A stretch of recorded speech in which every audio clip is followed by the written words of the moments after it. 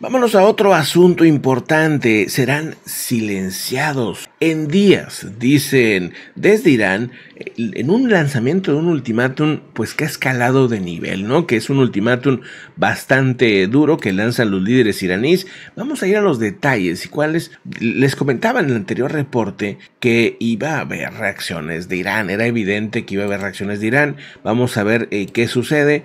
Porque el día de hoy, una cosa interesante que llama la atención es que pues pinta su raya Hezbollah, incluso dice que tampoco Irán tuvo que ver con los ataques del 7 de octubre, pintando su línea, aunque también los aplauden al mismo tiempo en ese mensaje. Pero miren, vamos a los detalles porque el día de hoy ha sido eh, pues o pinta a que va a ser un día en el que Irán empieza a tratar de diferenciarse de Hamas, hacerse a un lado un poco, aunque sigue lanzando mensajes bastante duros. Dice lo siguiente, el líder supremo de Irán, Israel será destruido en días sin la ayuda de Estados Unidos. O sea, como diciendo, si no hubiera ayuda de Estados Unidos, pues Irán sería destruido muy rápido. Dice el ayatollah Ali Khamenei.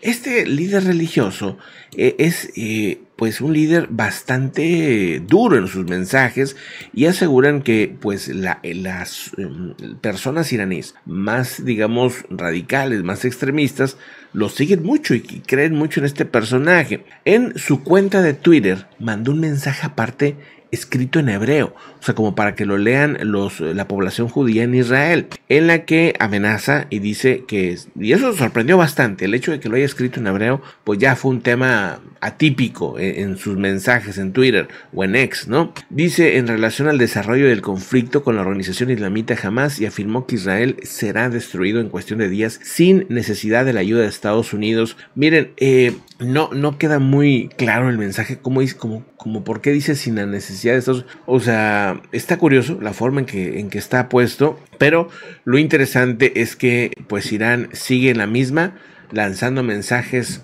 de advertencia, amenazas y todo esto, y tratando de expandir cómo influye y cómo dicen su plan real, el plan real de Irán es tratar de debilitar a Israel, que los consideran pues un enemigo para ellos. Entonces, ¿cómo lo hace? Pues no de manera directa, sino lo hace de manera indirecta con grupos radicales que apoyan, que les dan soporte, y si no es jamás, al rato es la yihad islámica o es el, el mismo Hezbollah y otros múltiples grupos que por ahí en Yemen, en Siria, en Irak, están apoyando, están dando dinero. Y pues como sigue fluyendo el dinero, pues siguen estos grupos y siguen pues los desafíos evidentemente para Israel y evidentemente también para Palestina, que los ciudadanos palestinos, los civiles, pues están en medio de, muchos intereses evidentemente. Pues, pues bueno, vamos entonces al detalle, qué está pasando también en otros asuntos importantes del mundo. Quiero que vean la siguiente imagen. Cambiando de tema rápidamente, pero es importante, este es el momento en que colapsa un puente peatonal en, los límites de Netzahualcoyot y Chimalhuacán, a pocos metros del Panteón Rosales. Impresionante, qué lamentable. Se sabe ya eh, que sí hay, eh, sí hay heridos, lamentablemente, y es que pues sí, no es cualquier cosa que se colapse uno de estos eh, puentes peatonales y volvemos a la misma, ¿verdad? O sea, ¿cuántos de este tipo de puentes no estarán en, condiciones muy frágiles y sobre todo cuando hay eventos, cuando hay eh, este, mucho movimiento en ciertas épocas del año, según se reporta, habría ya al menos 13 heridos. Según eh, se sabe, la estructura peatonal cayó con los usuarios adentro, cayó por cierto en un canal de aguas negras llamado La Compañía, esto ubicado en el Estado de México, en el puente peatonal ubicado frente al Panteón de los Rosales, en los límites de los municipios de Netzahualcoyo y Chimalhuacán, se desplomó cuando usuarios atravesaban la estructura por la tarde del día de ayer, jueves 2 de noviembre, Día de los Muertos, pues ahí va la gente este, al panteón y pues bueno, resultó en tres heridos cuando la estructura habría caído a estas aguas negras. Tremenda la, la situación, pero otra cámara de seguridad captó cómo estas personas resultaron heridas. Esto es en un desplazamiento de tierra en una zona turística en Piedra del Peñol, esto es en, en Colombia donde también se reportan eh, varios heridos, 15 personas resultaron heridas porque un desplazamiento de tierra que se registró en una zona turística llamada Piedra del Peñol en Guatape, Colombia, los afectados fueron trasladados evidentemente al hospital más cercano. Hablando de estas situaciones, pues también esto en Europa, Países Bajos, Francia, Alemania, Italia, Bélgica, España, tuvieron condiciones muy tremendas, muy fuertes, desafiantes, por lo que sucedió en el temporal en esta, eh, este fenómeno que se llama Ciarán, así es como le han puesto esta borrasca, este enorme fenómeno climático que habría generado 12, ya aumentó la cifra de ayer a hoy, 12 personas sin vida y decenas de heridos, según lo que reportan los vientos alcanzaron hasta 200 kilómetros por hora, un fenómeno meteorológico que, bueno, pues sí ha sorprendido bastante a la gente allá en, en Europa en el caso de Italia, las autoridades confirmaron ya el fallecimiento de cinco personas en la región de la Toscana y así en diferentes países eh, de, Europa, pues ha habido reportes de pérdidas humanas. Lamentablemente, pues ha sido duro.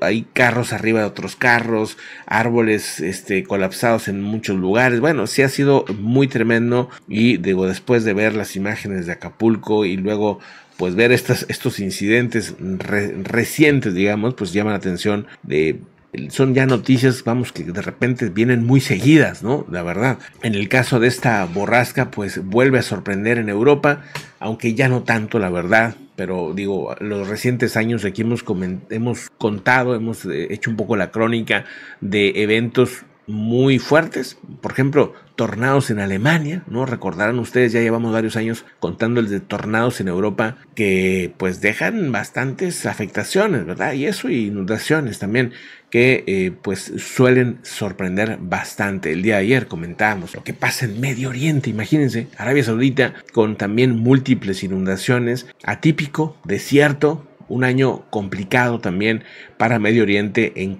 en, cuanto a exceso de agua. Fíjense nada más, acá en Nuevo León nos, nos, falta agua, pero pues en otras partes del mundo, incluso en desiertos, pues ha sobrado el agua. Pero regresando a los asuntos de temática internacional, eh, déjenme platicarles que, eh, bueno, hay un reporte por parte del presidente de Ucrania, Vladimir Zelensky, en el que asegura que las Fuerzas Armadas rusas están empezando a perder gradualmente el control del Mar Negro y están retirando sus embarcaciones hacia el margen occidental de las aguas. Dice, estoy agradecido a todos los que luchen y trabajan para que Ucrania mantenga el acceso al mercado mundial. Los resultados son buenos. Rusia está perdiendo gradualmente el control sobre el Mar Negro, habría dicho el presidente Zelensky, que no ha tenido últimamente muy buenas noticias en, en esta invasión que, que hace Rusia pero pues al menos dice este se está controlando el tema del Mar Negro. Y vámonos rápidamente al, mapa porque miren esta es la salida que tiene Ucrania. Esta parte sale por aquí los productos de Ucrania pasan a través de Turquía en esta zona en estos en este como canal que tienen aquí. Y luego de aquí pues ya se van hacia el mar Mediterráneo y hacia otras partes del mundo verdad pero digamos que es una salida pues necesaria para la economía ucraniana verdad y aunque pues eh, Rusia ha intentado controlar toda esta zona. Hasta ahora, por suerte y por, obviamente las defensas ucranianas no se ha logrado. Lo que era la naval rusa que estaba apostada en esta zona de Crimea invadida desde el 2014, han tenido que irse a esta otra zona. Se han tenido que ir a esta zona porque han estado tumbando y tumbando botes y buques y ya sea con drones por mar o por tierra, cuando tienen, por ejemplo, los submarinos apostados en tierra, los han logrado afectar o incluso hundir. Esto, pues, ha generado que, por estrategia, diga Rusia, esto me está saliendo muy caro todo esto, y se hayan tenido que mover a otro punto.